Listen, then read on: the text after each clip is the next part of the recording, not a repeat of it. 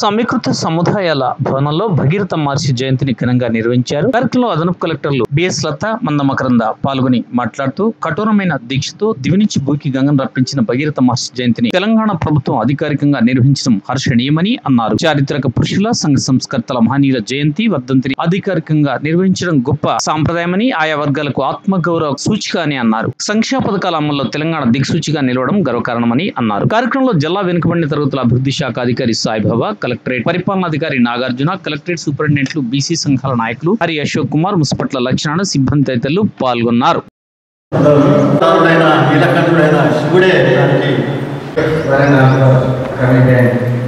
Success కార్యక్రమాన్ని అందరికీ పేరు పేరు.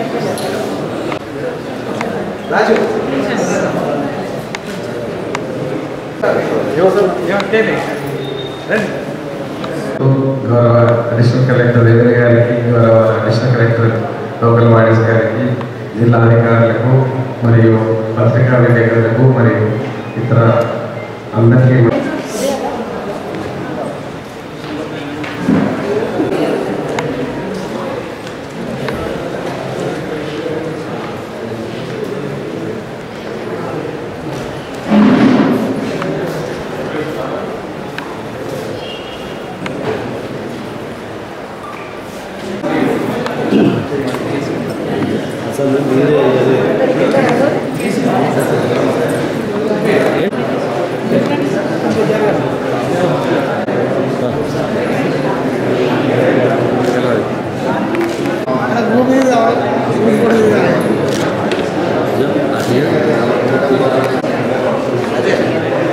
Obrigado.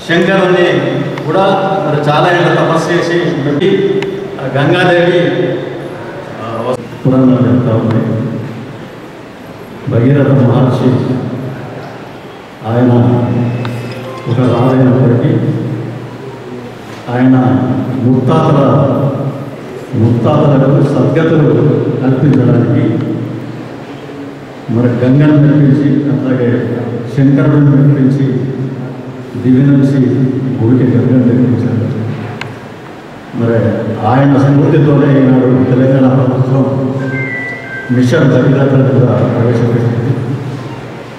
మరి అట్లాగే ముఖ్యమంత్రి కేసీఆర్ గారు కూడా ఇటువంటి మహనీయుల పేరుతో మరి అధికారికంగా జరుపుకోవడం జరపాలని ఆదేశాలు జారీ చేసి ఉత్తర్వులు జారీ చేయడం విధంగా అన్ని సంఘాలకు సహాయకం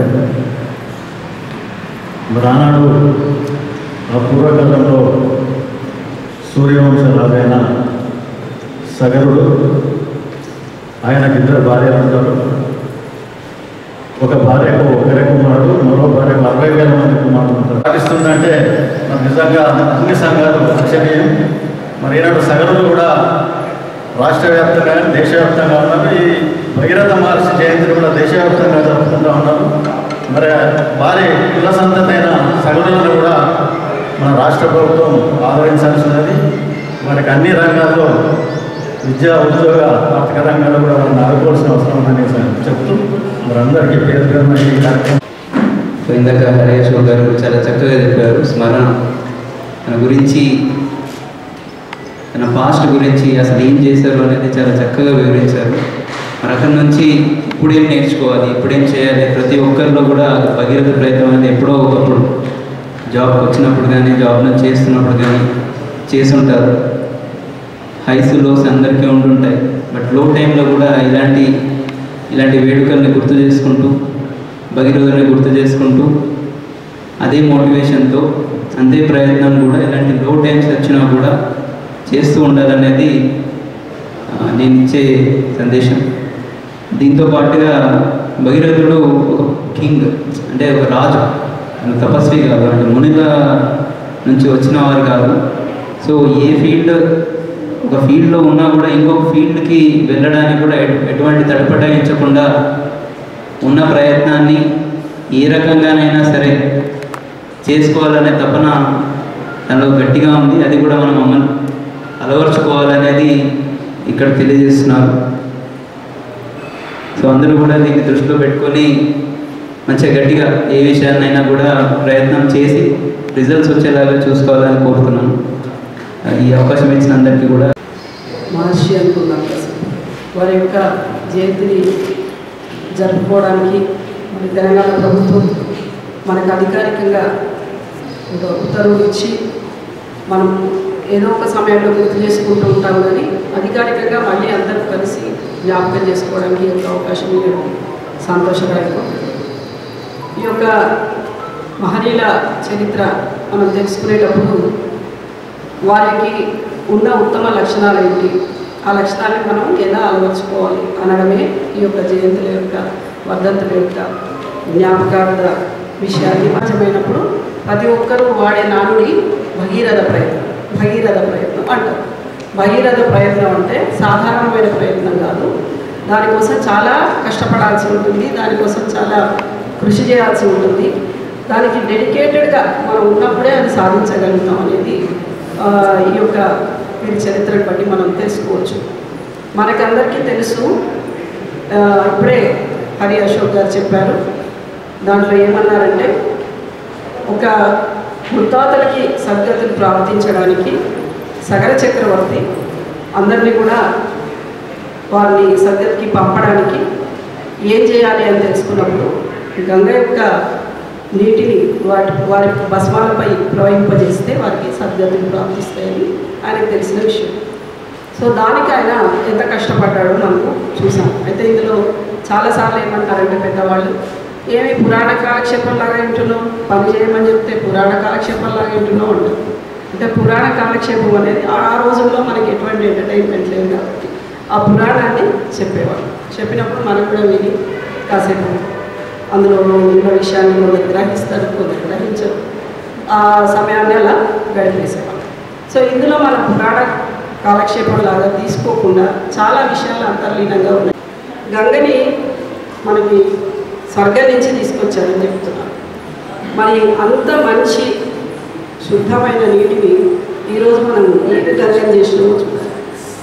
సో ఆ గంగా జలాన్ని అంత పవిత్రంగా మనం ఉంచుతున్నాం అనేది మనం ఈ సందర్భంలో గుర్తు స్వచ్ఛమైన గంగ తెస్తే మనము గంగా మైలి తేలి గంగా మైలి అన్నట్టు చేసేస్తున్నాం. వెరీ వెరీ వెరీ సాడ్ కాబట్టి ఇప్పటికైనా మనము కాశీకి వెళ్ళినప్పుడు కేవలం చితాభస్మాన్ని కొంచెం మాత్రమే అందులో కలిపి రావడం అనేది చేయాలి. కుండలు కుండలు కుమ్మరిస్తే ఏమి రాదు. కాలుష్యం కాలుష్యం తప్ప. ఇది గమనించాలి. అదేవిధంగా మృతదేహాల్ని మనం గంగలోకి కానీ ఏ నదిలోకి కానీ అసలు ఏ ప్రవాహంలోకి కానీ నెట్టేది అది నేర్చుకోవాలి. వాటికి ప్రత్యేకంగా భూమిలో పాటేసినా లేకపోతే భూమి పైన చితిలో కాలేసినా మనకు అంత కాలుష్యం ఉండదు. నీటిని మళ్ళీ మనం వినియోగించాలి. కాబట్టి ఆ నీటిని పరిరక్షించుకోవాలనేది మనం ఈ సందర్భంలో తెలుసుకోవాలి. శుద్ధమైన గంగని మరణం చేయదు ఏ నది అయినా ఏ ఏరు అయినా ఏ చెరువు అయినా ఏ గుట్ట అయినా మనం దాన్ని ఏ రకంగా శుద్ధంగా ఉంచుతామనేదే పవిత్రత. ఆ పవిత్ర జలాలు మనం ఏం చేస్తాం? పుష్కరాలు వచ్చినప్పుడు ఇప్పుడు చెప్తున్నాడు పరశురావు ఆ ఇరవై రెండు ఏప్రిల్ నుంచి మూడు ఐదు వరకు గంగా పుష్కరాలు జరుగుతున్నాయి. సో ఏ పుష్కరాలు వచ్చినా కూడా పుష్కరాలలో స్నానం చేస్తాం మనం.